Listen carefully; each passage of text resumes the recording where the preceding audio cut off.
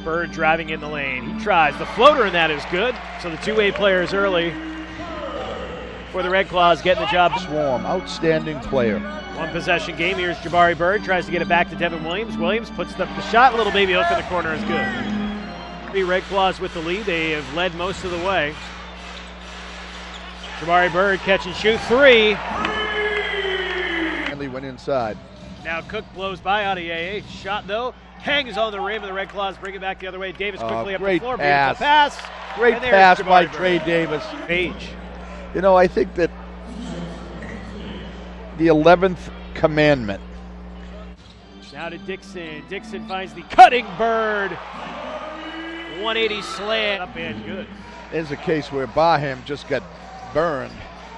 Boom! And a slam dunk by Bird. Terrific pass by Daniel Dixon. As Barham goes to the line for the main Red Claws. And as we mentioned, Bird in the game right now for the Red Claws. Cook Jones, Mathiang, Page, and Williams. As Barham tries another three from the corner, that is good. Three from Williams comes over. Now Bird will drive in, double team. Bird tries the little push, and that is good. And Jabari Bird now with 15 points with the lead. 10.09 now remaining in the third quarter is Andrew White looking for his first points, and there they are. Nice pass by Jabari Bird. There's a case where he didn't pass it. corner. Bird will take the three. Hesitated for a second, doesn't matter. Three is going to be short, long rebound though to Page. Fresh 14 for the Screamers Zero team. It's stolen away though on the pass by Bird. Is Bird. He'll pull up long two. It is a two.